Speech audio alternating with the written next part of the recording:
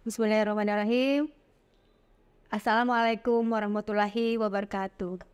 Ulun Yasna Hairina, Kepala Dinas Kesehatan Kabupaten Banjar, memberikan apresiasi dan sangat mendukung atas aplikasi Si Hasan, Sistem Informasi Kebutuhan, Kebutuhan Alat Kesehatan yang merupakan aksi inovasi dari Saudara Marcuki, Kepala Seksi Farmasi dan Alat Kesehatan Dinas Kesehatan Kabupaten Banjar.